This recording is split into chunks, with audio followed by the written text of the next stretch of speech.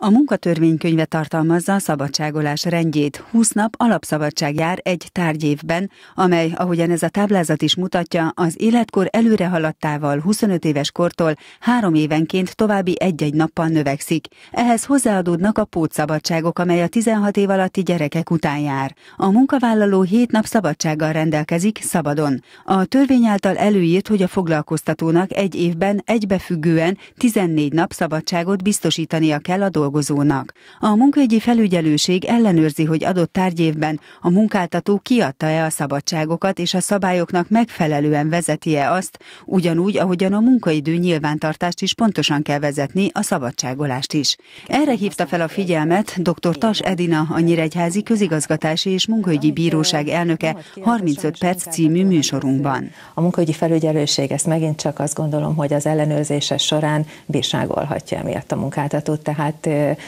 Innen mondva én azt mondanám, hogy a munkáltatók figyelmét ezért erre felhívnám, hogy ez, ez komoly bírságot vonhat maga után.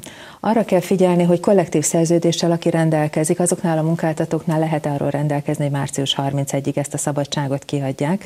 Sőt, az is engedélyezett a törvény alapján, hogy a munkáltató a munkavállalóval adott tárgyévre kössön írásban megállapodást, hogy a következő év december 31-ig ezt a szabadságot átviheti. Erre az írásbeliséget hangsúlyoznám, mert abban az időben, amikor egy február hónapban a felügyelőség ellenőrizni fogja, hogy az előző évi szabadságok kiadásra kerültek-e, és ha azt fogja látni, hogy bizonyos munkavállalóknál ez nem került kiadásra, akkor fogja kérni azt a megállapodást, hogy van-e ilyen, arra vonatkozóan ezek a szabadságok még ebben az évben kiadhatóak legyenek. Szabadságot pénzben megváltani nem lehet, csak akkor, ha a munkaviszony megszűnik.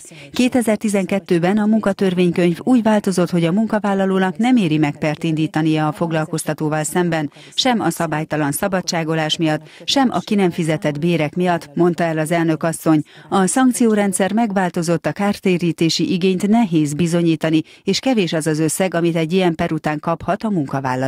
Egyébként pereskedésre a dolgozónak 30 napja van a munkaviszony megszűnése után. A munkaügyi ellenőrzések jelentős mértékben visszafogják az administratív és a munkavédelmi szabálytalanságokat. A szabályok betartására a munkáltatók már azért odafigyelnek, és nincsenek valószínűleg így bírságolva. Tehát a felügyelőség részéről nagyon ritkán jönnek már ilyen ügyek.